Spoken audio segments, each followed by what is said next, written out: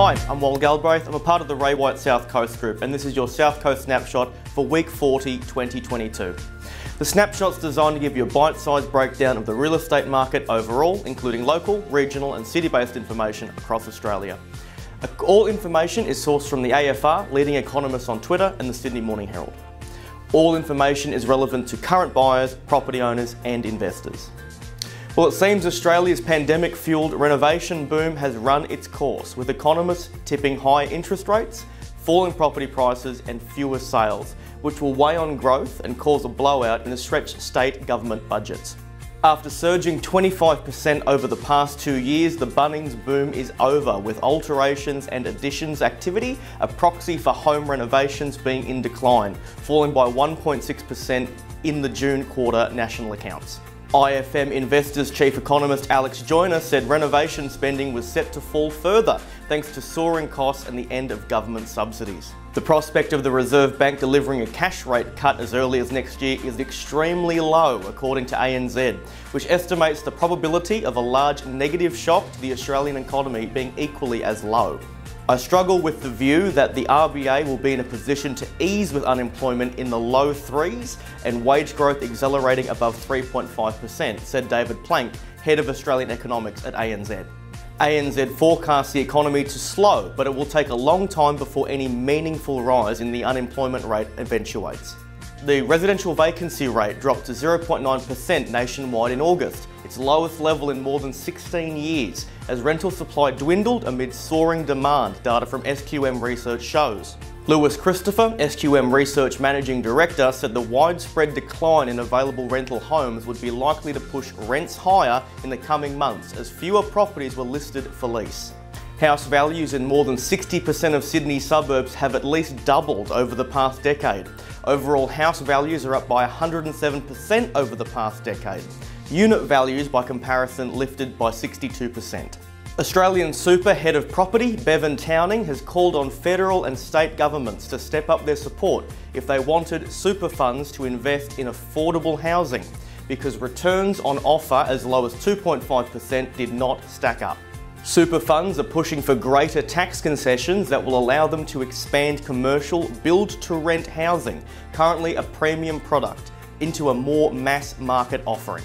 New housing demand will pick up in the next 18 to 24 months as, raise, as rising wages and falling prices combine to improve the affordability problem, keeping buyers out of the market, says Stockland Chief Executive Tarun Gupta.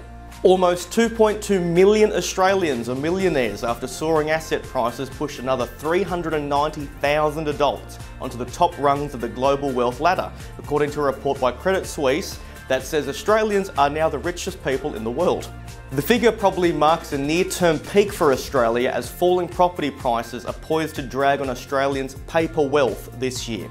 The median Australian adult finished 2021 with a net worth of 273 900,000 US dollars, making them richer than the comparable resident of any other country, according to Credit Suisse's annual Global Wealth Report. Volumes of the country's largest 100 home builders dropped 15% over the year to June as materials and labour shortages hammered the residential construction sector, even as it tried to digest unprecedented levels of new demand. The 100 largest producers chalked up a collective 74,973 housing starts last year, down from 88,215 a year earlier.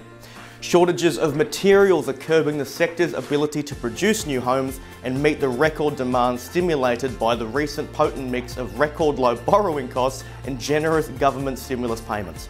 Nearly one in five landlords nationwide are planning to sell at least one of their properties in the year ahead, with many of those doing so to avoid Queensland's new land tax law that will come into effect next June, a survey has found. If investors follow through, this could potentially deplete rental supply by 200,000 properties around the country at a time when vacancy rates are already below 1%. But investor exodus has already started and more than one in six landlords have already offloaded one or more of their properties in the past 12 to 24 months. Of those who have sold, 45.1% have disposed of at least one of their investment properties in Queensland, potentially wiping out 162,000 rental properties in the state, or slashing 30% of the available rental homes in just two years. And finally, the average mortgage rate has risen from 2.86% in April to 3.99%, an increase of 40% overall.